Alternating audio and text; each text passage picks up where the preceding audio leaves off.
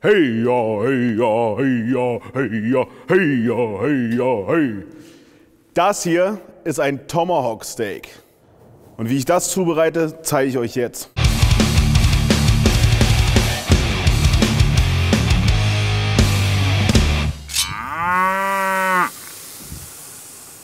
Das Tomahawk Steak wird aus dem Rind geschnitten und zwar genau aus dem oberen Teil, aus dem Entrecot-Teil. Das sieht man ganz gut hier.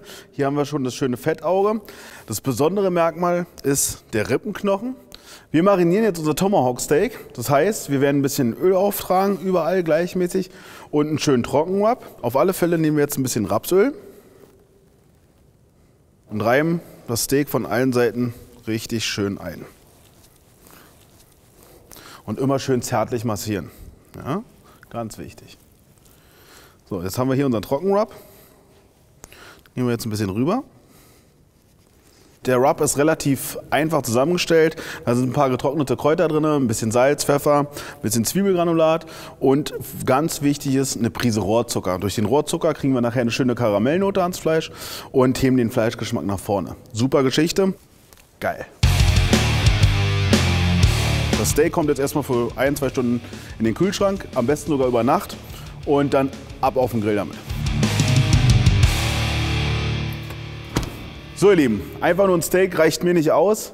Wir werden jetzt noch ein schönes Bohnen-Chorizo-Ragout dazu machen. Das heißt, wir nehmen hier Kidneybohnen, weiße Bohnen, stückige Tomaten, eine schöne scharfe Chorizo, Zwiebeln, die schneide ich jetzt klein und zum Schluss einfach noch ein bisschen Petersilie mit rangeben, abschmecken mit Salz und Pfeffer absoluter Knaller.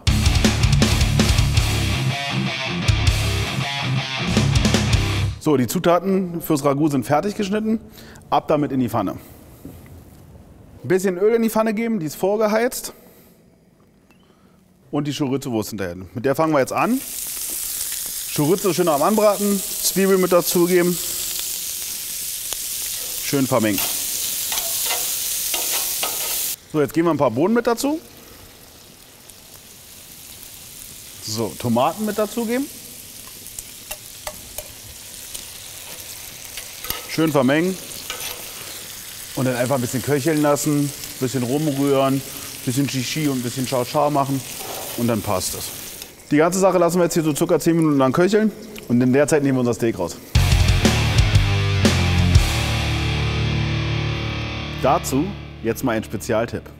Wichtig ist, Fleisch generell vorm Grillen immer so eine halbe Stunde bis Stunde, je nach Größe, aus dem Kühlschrank zu nehmen. Und zwar aus vollem Grund. Das Fleisch ist innen drinnen noch viel zu kalt. Wenn ihr es von beiden Seiten, zum Beispiel beim Steak, angrillt, kann die Hitze gar nicht so schnell ins Fleisch reinziehen. Es würde außen verbrennen.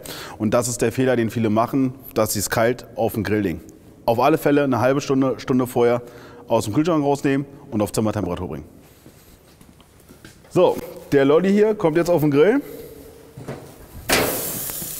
Steak liegt drauf. Wir haben jetzt eine extrem hohe Hitze. Wir liegen so bei 380 Grad. Nach so circa 15, 20 Sekunden das Steak einfach um 45 Grad drehen, kriegt dann schönes Rautenmuster, noch mehr Röstaromen, oberlecker.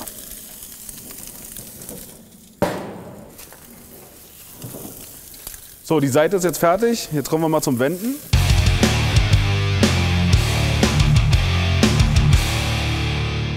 Ich habe jetzt hier die Warmhalteroste draufgelegt.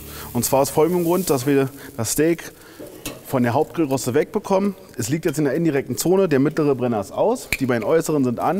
Deckel machen wir jetzt zu. Die Hitze kann schön ums Steak zirkulieren. Wir warten jetzt ungefähr, bis das Fleisch eine Kerntemperatur von 55 Grad hat.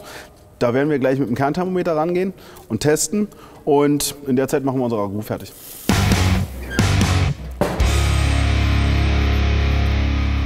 So sieht unser fast fertiges Ragout aus. Wir kommen jetzt zum Abschmecken. Handschuhe mal schnell aus. Petersilie oben rübergeben. Die Lauchzwiebeln. Ein bisschen Salz. Ein bisschen Pfeffer. Eine Prise Rohrzucker. Ganz wichtig. Und ein bisschen Creme fraiche. Schönes Hüftgold, kommt immer gut. Ein Kleck sollte reichen. Und schön vermengen. Das ist richtig lecker. Jetzt gucken wir mal kurz, was unser Steak macht.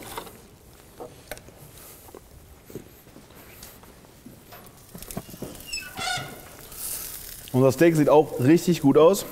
Tipp, Kernthermometer nehmen und mal kurz vorsichtig testen, wie weit wir sind. In die Mitte vom Fleisch stecken. 55 Grad, perfekte Kerntemperatur, ab vom Grill damit.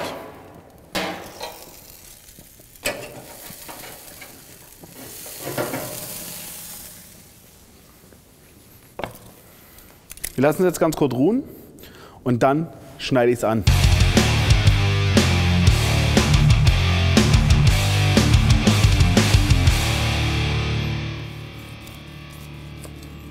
Und das ist der Oberwahnsinn. Das ist der absolute Oberknaller. Glaubt mir. Dazu noch die Bohnen. Viel Spaß beim Nachgrillen und denkt dran,